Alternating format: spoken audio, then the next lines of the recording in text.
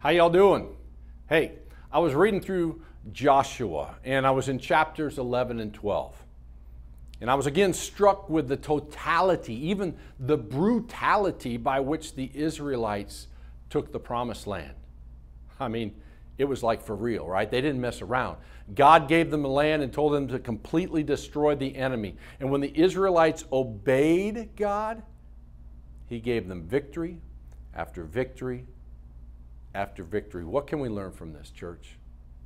Is this a message about being brutal in our culture today? Is this a message uh, about the church, you know, getting out there and hurting people and driving people away who, who aren't who aren't loving Jesus like we think they should? Not at all. Not at all. But this is a lesson and a reminder that obedience results in victory. In other words, doing things God's way brings God sized results. Man, we need to remember, we need to apply this to our lives. Doing things God's way, every area of our lives, doing things God's way brings the victory, brings the blessing, brings the kingdom results that God intended. So, okay, check this out. Here's just a taste from, from Joshua. Here's just a taste of how the Israelites obeyed God when they were told to go and possess the promised land. We're in Joshua 11, beginning of verse 9. Joshua did to them, meaning did to the enemies in the land, as the Lord had directed him to do. He hamstrung their horses and burned their chariots. In other words, he took out their ability to continue to war. Verse 10 At that time, Joshua turned back and captured Hazor and put its king to the sword. Now, Hazor had been the head of, uh, of the kingdoms of the area, and he removed, in other words, Joshua removed the evil leadership from the land.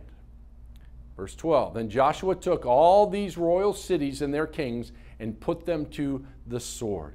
He totally destroyed them as Moses, the servant of the Lord, had commanded.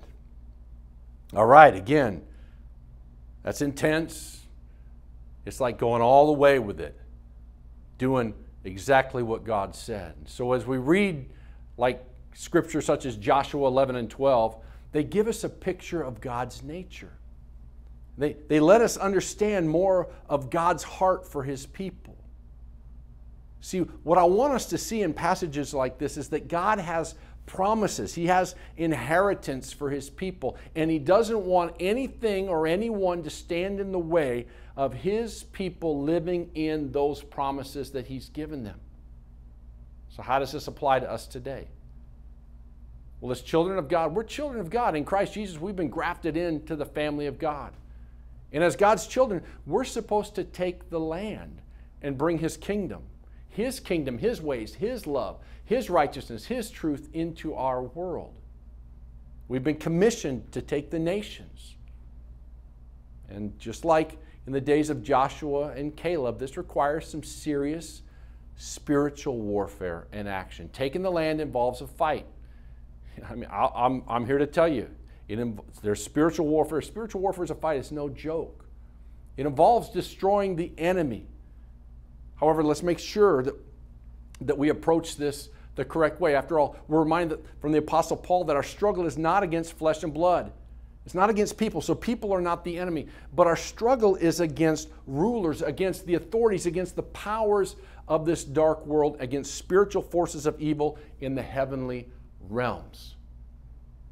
That's where the battle's fought. That's where the enemy is. So our warfare is, is not a physical one. It's not about physical violence, but rather a spiritual move that brings victory in the heavenlies and on earth. However, check this out the spiritual warfare, it's going to be a common experience in the life of a Christian. If you've been able to live your life as a Christian without engaging or experiencing spiritual warfare, then man, I need to invite you, let's, let's start running together. Because spiritual warfare, battling, pushing back darkness, it's just part of living the Christian life. I've said it before the Christian life, it's not passive. Rather, the life of a Christian is a life of action. I mean, it's just not a rom com, like I said a few weeks ago, right? It's also an action movie. It really is mostly an action movie. It's a life of warfare against Satan and his demons, it's a life of passionate obedience to our commanding officer, and it's ultimately, check this out, it's a life of victory. Praise the Lord. So, I want to ask you what's the enemy placed in between you and the promises of God for you, for your family, for our community? Come on, what kind of roadblocks, what kind of walls have been placed there? How about lies? Has the enemy been feeding you with lies?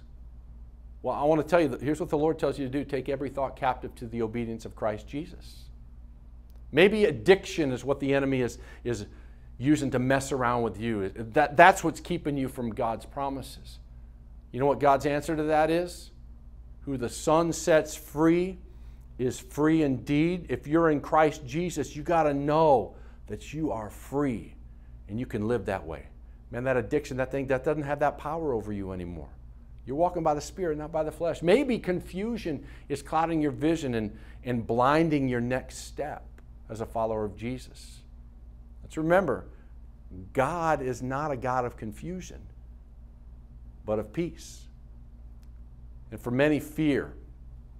Fear is the, is the biggie that's keeping people from grabbing hold of the inheritance and the position and the victory that we have in Christ Jesus. I want to just say to anybody who has any fear or anxiety, here's the message for us today. Let's remind ourselves, let's preach to ourselves right now. For God has not given us what? A spirit of fear and timidity.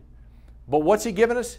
He's given us a spirit. He's given us a new creation, a new, a new personhood in Christ Jesus, a power now of love and of self discipline. Isn't God good?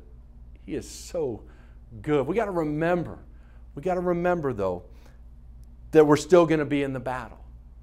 The enemy wants to rip us off, rob us, kill us, destroy us, John 10 10, right? But Christ came that we might have life and that to the full. Jesus also said this, though, from the days of John the Baptist till now, the kingdom of heaven, it's been forcefully advancing, and forceful men are laying hold of it. We, we got to understand this is a real battle, but we have the victory.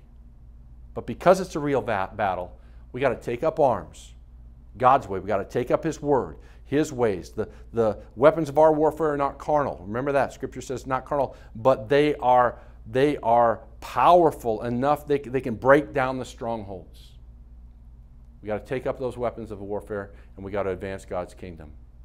And let's also remember this that God is still a promise making and a promise keeping God. Can I get an amen? Because all of his promises are yes and what?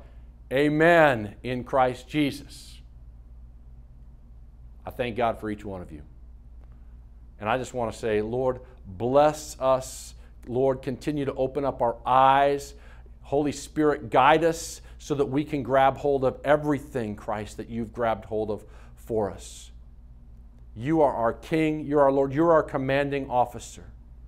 And we trust you in everything and with everything in the name of our Lord and Savior Jesus. Amen. Amen. Have a super blessed day.